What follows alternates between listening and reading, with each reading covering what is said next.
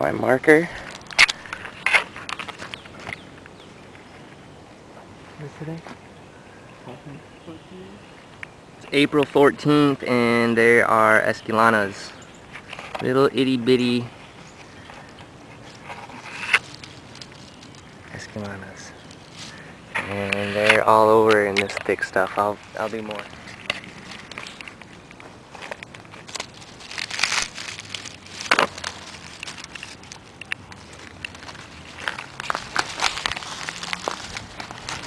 We're right next to this trail, so we're being very quiet and trying to stay out of the view here.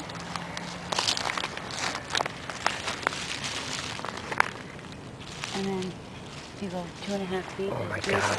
Five, I six, see seven, him. There's eight. another one right there. Jeez, blowing up. This tree just died Go over more too. this season. And oh right back in there.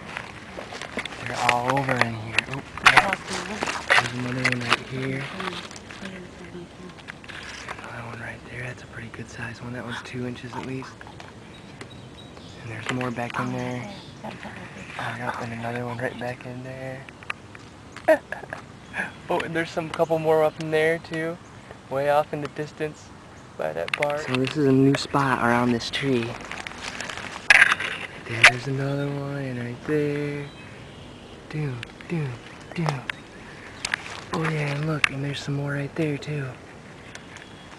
Definitely gonna leave these ones to grow. So there are more Leg, over here. front and calf. This little one's rusty here. Oh, and there's another one that's been broken right here. But the mushrooms, there's people coming, Heather.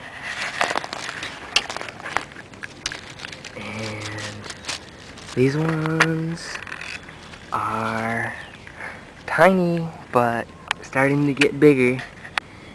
Oh, geez. And then look. Another one right here. Another one right there.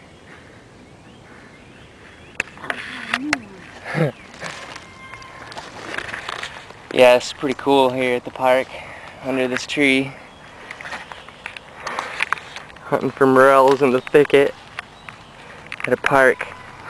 Look, that's the trail, that's the tree.